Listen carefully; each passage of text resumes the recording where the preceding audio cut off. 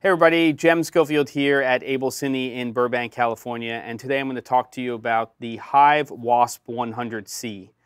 It's a new LED fixture from the company. It is now shipping, and I was fortunate enough to get to use the light in my production workshops at NAB this year. And now that it's actually shipping, it's so popular that the two units that I have right now, one that I'm using for my key light and the one that I'm going to show you here, are both pre-production units. So the firmware on these units is not completely final. The shipping products it is, but it does have all of the functionality of the shipping versions and except for the fact that the shipping versions are very, very quiet and you can hear the fan a little bit on this particular unit. I can show you everything that this light can do right now and also some interesting accessories that I have that I'm very excited to show you. So the first thing is, let's talk about what the light comes with. The light fixture itself is very, very lightweight. The light itself is designed to use Profoto style accessories, so anything that has this Profoto ring will actually fit onto the light itself. This is an accessory that you can buy, but I'm going to show you the parts that come with the light. And besides the safety ring here, which I actually have gaff taped down so it doesn't make noise, it does come with a 22 degree parabolic reflector. It comes with barn doors, well-made barn doors, real barn doors. And it also comes with this pouch, which has three modifiers or lenses really that go into the light to change the beam angle. Now standardly this light and I'm just going to turn it up to let's say uh, actually 1% so that there's a little bit of light output here.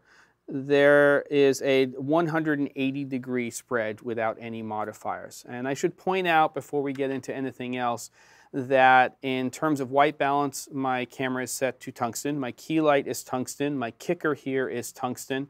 Right now, the background light that I'm using is set to daylight, so we get this warm, cool contrast. I'm going to go ahead and strike that light in a minute so that we can see just the quality of this light um, and basically allow you to see that. So what I'll do is I'll build this up with the reflector, the barn doors, I'll put in one of the lenses and I'll turn off that light and then we'll talk about how the light functions itself. So we've got the barn doors on here and I've got a lens on here and I'm just going to go ahead and start to show you the controls. There are four basic controls on here. We have intensity, which is designated by D for your dimmer.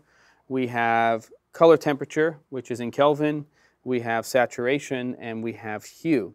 Now, this particular light, and let's just go ahead and turn it up so we can get some light on the background right now. This is set to 3200 Kelvin.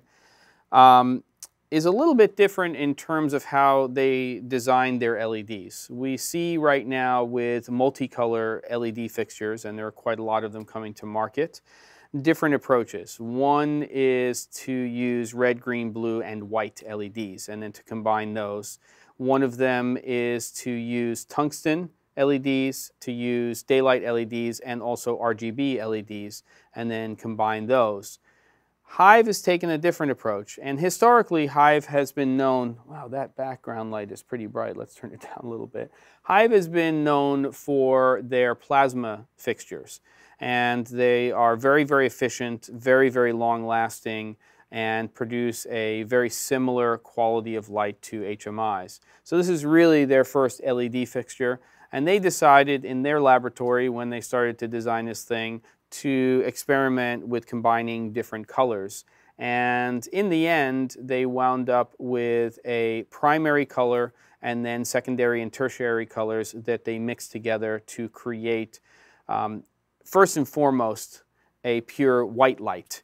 And what you want to do, no matter how much functionality is in a multicolor light, you want to make sure that when you're going from our basic tungsten to daylight color temperatures, that that light is white, that it's consistent, that is hopefully high CRI, this light fixture is, that is hopefully high TLCI, this fixture is, and you can check out all of the metrics on the light if you'd like.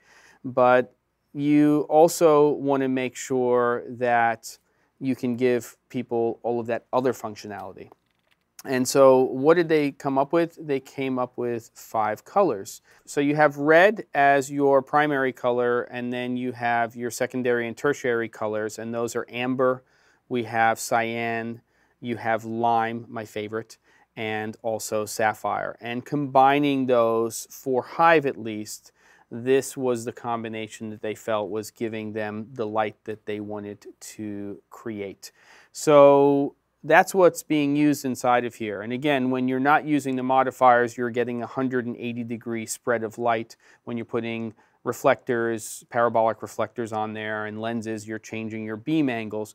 So First of all, in the dimmer, as I change the dimmer, it's changing in 10% increments. But if I hold down the adjust knob here, I can change it in 1% increments. So that's really nice in terms of being granular with your output or intensity of the light. Then I'm going to switch over to our color temperature. And between tungsten and daylight, we're getting consistent output from the light in terms of high CRI TL CI and then also the actual output itself. We can drop below tungsten and as we start to do that we will see a decrease in output but we have the ability with these five colors to go all the way down to 1650 in terms of Kelvin temperature. Again, remember, I am white balanced to tungsten right now when you're looking at the overall colors. So I can also go above daylight, 5600 Kelvin, and I can go all the way up to 8000 Kelvin. And of course here, because I'm white balanced to tungsten, that is going to read as very, very blue light. So we get a very warm, cool contrast here when we're doing that. So I'm going to bump that back down to 5600 Kelvin, and now we're going to move over to saturation. When you're looking here at 5600 Kelvin here, and our saturation is set to zero, then we are not mixing in any additional color. We are trying to produce a nice color spectrum and also create a white light at that color temperature.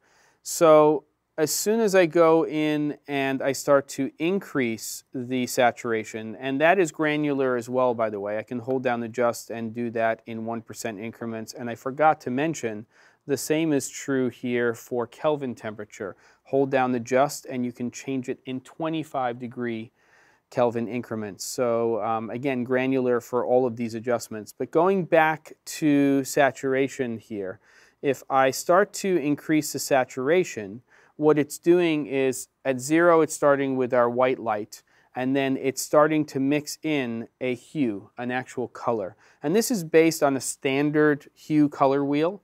So zero would be on that wheel red, and let's just go ahead and bring the saturation up to 100%. So now we have red at 100% saturation.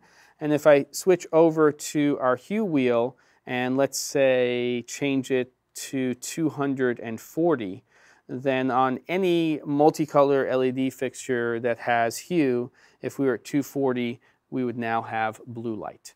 So we can then, of course, go back to our saturation and we can mix as much or as little of that blue, that hue, into our white light. So for me, this just gives you a tremendous amount of control, and that's what's so exciting about these fixtures. Now, we have standard wired DMX control here. There is an app so that you can control this light with an app, which is fantastic through Bluetooth.